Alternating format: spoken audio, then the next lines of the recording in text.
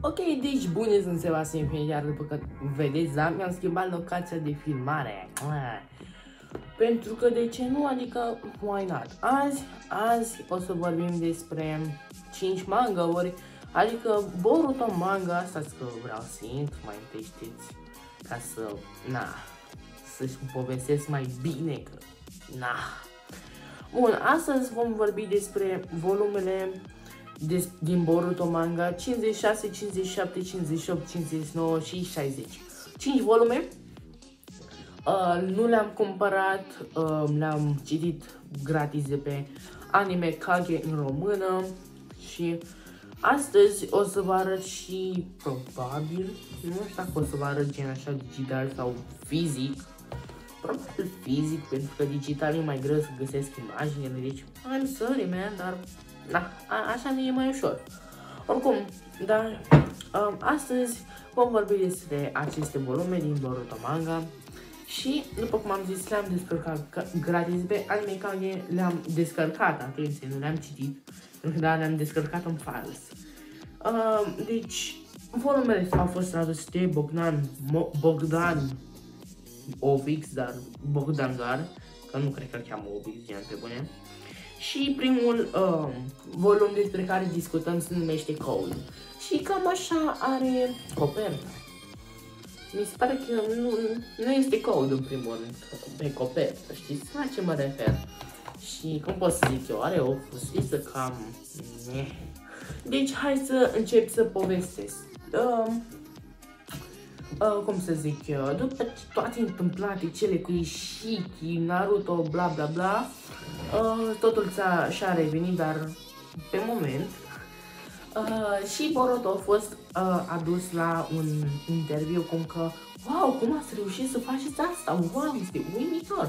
Și Boruto, uh, mă mir că nu și-a asumat toate meritele, ce a spus că uh, au fost mult mai mult cleșinat, dar nu, nu, nu, nu a fost ascultat. Pe urmă, Amado îi pune brat, noua, noul braț lui Kawaki și hai să vă arăt această pagină. Uh, cred că așa pe mijloc, dacă vă arăt mai bine. Da, se vede, zic eu. Îi pune noua, noul braț. Apropo, an, uh, manga se citește de la stânga la dreapta. De la dreapta la stânga, dacă nu știți. Nu știu, poate mai sunt oameni care vor să vadă noul manga, cum sunt manga orele, da. Nu știu, poate le-am poate le spus ceva util, habar n-am. Așa, și na, după aceea, asta, cum o cheamă, Katsuski, cum cred că o cheamă? Sumire, Sumire. Da, aici cred că o cheamă, în, în manga cred că o cheamă altcumva, nu știu. În fine, ea, e, on, uite, gen, Sumire, mă refer la fata aceasta. Nu știu dacă... Eu cred că o cheamă Sumire, dar nu mai știu exact. Probabil Sumire, dar nu mai știu.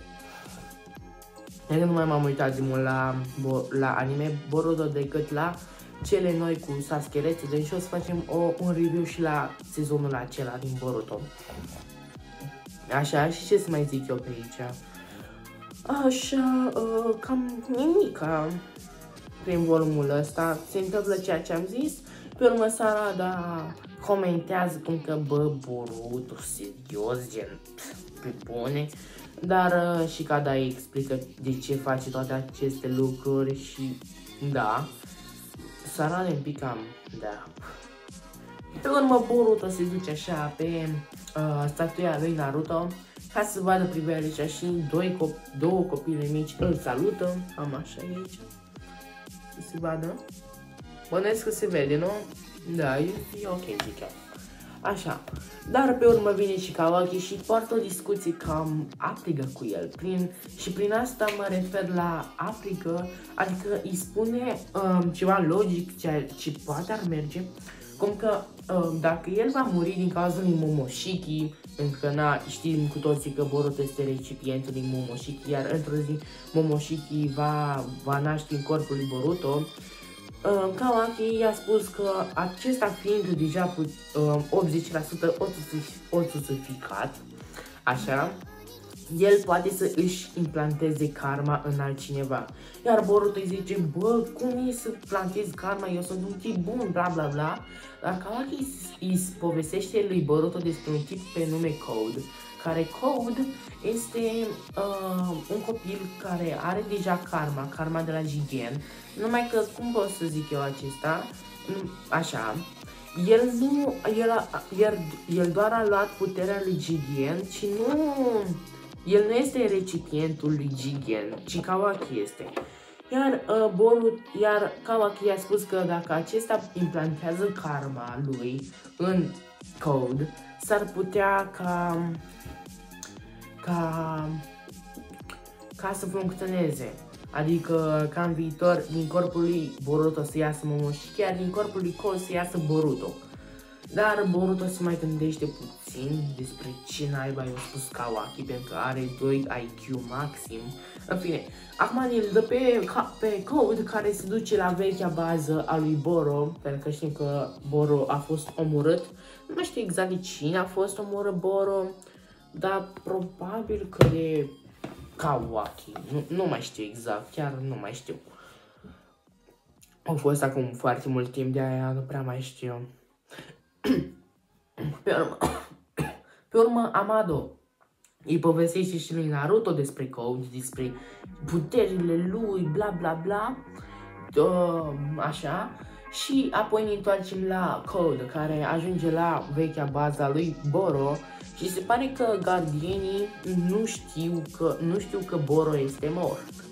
Și zici ce, uh, pentru gardienii au fost foarte încăpățânați că vrea să se bată cu ei. Așa, acum ne întoarcem la, înapoi la lupta, nu la lupta. Sau în bană ne întoarcem că v-am explicat deja. Așa, deci Code um, se luptă cu gardienii, după cum am spus, ia uitați aici. Vă pun așa, se vede bine? Da, se vede ok. Code se bate cu cei doi gardieni care apărau. Hai că vă mai arăt și asta. Așa. Uh, hai că vă arăt toată lupta lor, ce... Na, why not, bro? Dacă tot pot, de ce să nu vă arăt? De ce zic? Uh, pe scurt, după o luptă, Code normal că îi omoară pe amândoi. Gen, e clasic. Așa se întâmplă mereu cu gardienii.